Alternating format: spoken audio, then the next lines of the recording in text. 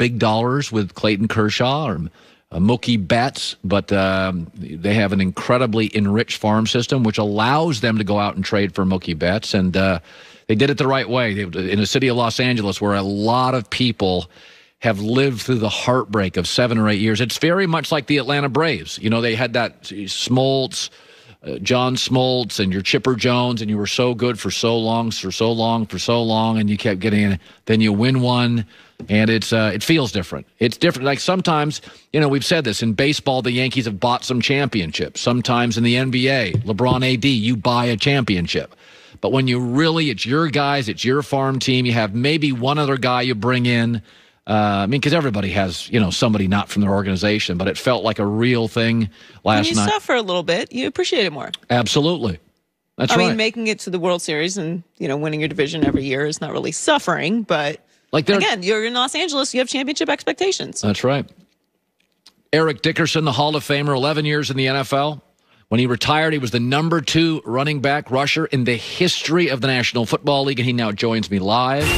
Rams at the Dolphins Sunday on Fox. Actually, a fascinating game because the Rams are coming off a big Monday night game, a short week, travel cross country. Here comes Tua. And Eric, we know you're a Ram. You love the Rams, but they're a fascinating team. We mostly know, Eric, who the bad teams are and who the good teams are. and we just found out the Bears were a fraud, even though they had a winning team record. And there's a lot of people around the country that don't buy the Rams. I didn't last year. I do this year. I think their I think their offensive line play has been better than I thought. You're Mr. Ram. Do you do you know what they are? Do you buy them? Well, let's say this one thing. Uh, yeah, I'm the Ram ambassador, but I, I tell it like it is. You know that that's that's my thing. And and you know, at first I just wasn't sure, and still I'm still a little unsure about them. Uh, you know, like, when I look at last week's game where they got beat down in San Francisco, uh, it was embarrassing. They they really got manhandled, and I think that's because when you're in your conference, you play a team twice a year. They pretty much know you, yep. and and and and that, that just happens. But this football team has shown that they can beat good foot. Well, I took it back. They beat. They, we thought they were a good football team in Chicago. They have a great defense. But one thing about the Rams is, I feel like this: at certain teams, you feel at one point you, if you're not playing good, but you're still winning, or you're playing over expect over expectations. People not expecting you to be that good, and you start winning. All of a sudden, you may not be that good, but you all of a sudden you start feeling like you're that good, and you start playing like you're that good. And I feel like that's what the Rams are right now. I think a lot of people are not sure about them but they feel they're confident. You know, the, way they beat the Bears last week, you know, at home with not fans, but they still beat them pretty good. And that that's a confidence builder. Now you're going into Miami to play the Dolphins. The Dolphins are a team to me that always plays hard. They might not win, but they're gonna play you down to the wire. They're coming in with a young quarterback, Tua, unsure about him. Their offensive line, I think our defensive line can beat up their offensive line, just like our defensive line beat up Chicago's defensive line. So that's where I think the matchup will be is is right there in that football game. But the Rams, am I sure about them? I'm still on the cusp. But right now we're five and two, so I'm happy about that. Let me ask you about the trade deadline. The Seahawks went out and got Carlos Dunlap. The Packers reportedly are interested in the Eagles tight end Zach Ertz. You were traded before. Um, it is much more of a mobile league now. There's more trades than ever. There's a lot of young, aggressive general managers, Eric. Les Snead, Tom Telesco in LA. We've got two. They'll go out and make moves. This is the new league we live in. Um, do you is it do you ever worry Carlos Dunlap's not happy in Cincinnati? The locker room in Seattle is excellent. It's excellent. It's got leaders. Do you worry? Can you bring in a player at the trade deadline He's a veteran. He's got expectations, and it and it takes the locker room in a bad place. Do you worry about that at all? I mean, it can happen, but it's, it's going to happen to a, to a young team. You know, if you got a veteran team and you bring a guy in that you say you want to say he's a cancer, that's really not going to change your football team much because you have the leaders in that locker room. Those are the guys. Those are the guys that, that the team is going to follow. And it's like, get in line or get out. It's like the like like the, Antonio Brown to me going to Tampa Bay. Uh, people like, ah, that's a bad deal. I, I said, I don't, I don't think it is because this is a veteran football. Tampa's a veteran football team. You bring in a guy who's had some problems, and this could be his last stop. So when you bring a guy in, you feel like if, if it's a bunch of young players, a bunch of 22, 23, 24 year olds, and you have maybe one or two veterans, it could be a problem. But when you have a seasoned team with a, with a good locker room, you don't worry about that guy. Yeah.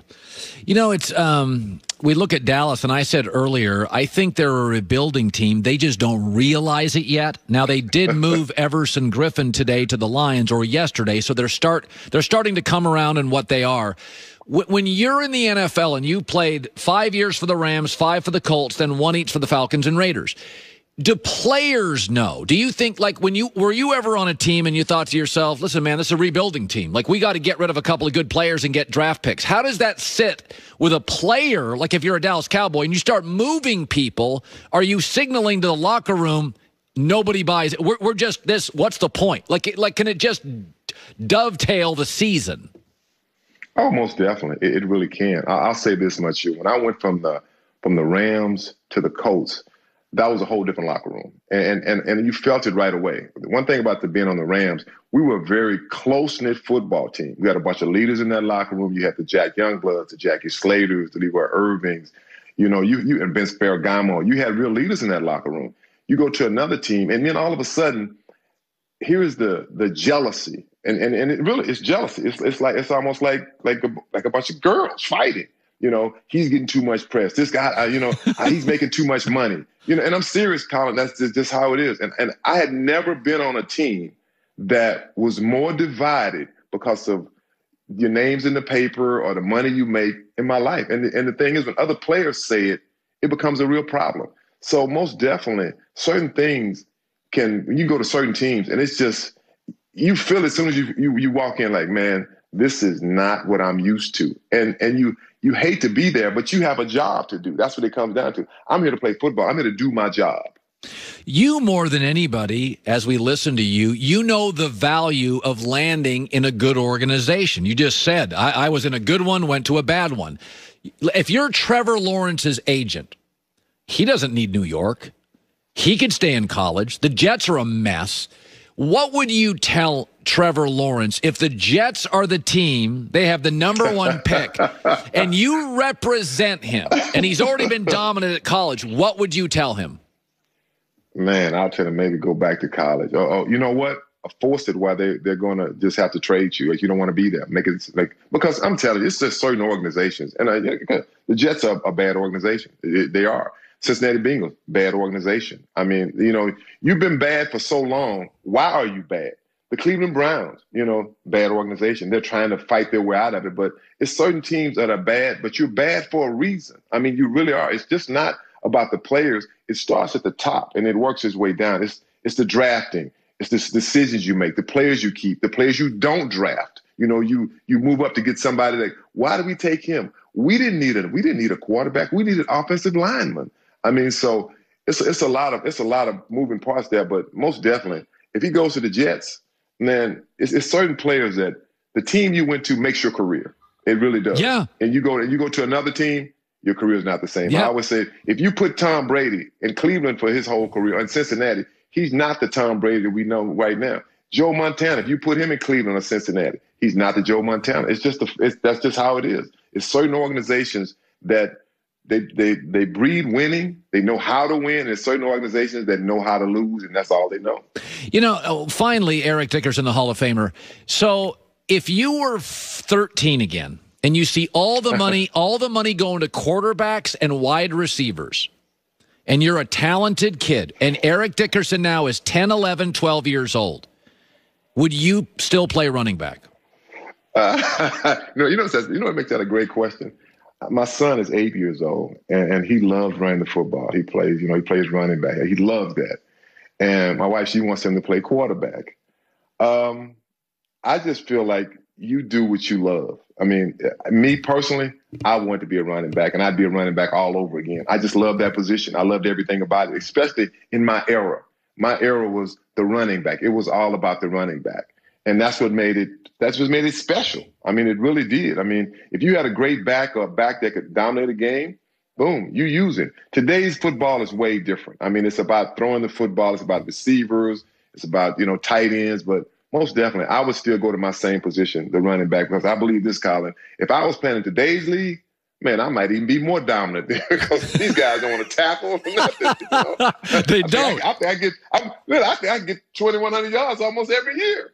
That's funny. So your son's mom wants him to play quarterback. Yes, he wants him to play quarterback, and and and, and but he loves running. He and, and he's man, he is so fast. And I'm not I'm not saying my son's gonna play football, nothing like that. I'm just I'm not that dad. But man, he's fast and he can cut. He can do